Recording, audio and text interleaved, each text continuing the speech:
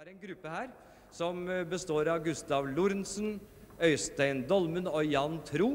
Eh, De har begynt å skrive sine egne og komponere sine egne viser, barneviser, men som godt kan høres av voksne. Og de skal nå fremføre noe av det. Det er ikke morsomt å spise sin mat når den ligger i pakke og ikke på fat. Øverste skiven var med syltetøy. Det satt fast på papiret som med vinden fløy. Så skulle jeg starte med nummer to, men den var spist fra før fordi den var så god.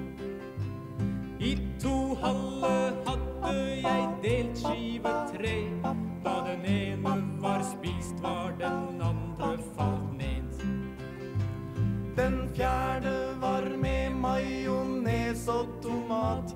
Majonesen var klemt ut, tomaten var flat.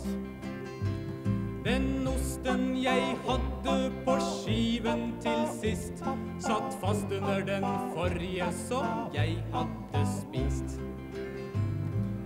Uller i busken, uller i busk, nei det er ikke morsomt å spise sin mat når den ligger i pakke og ikke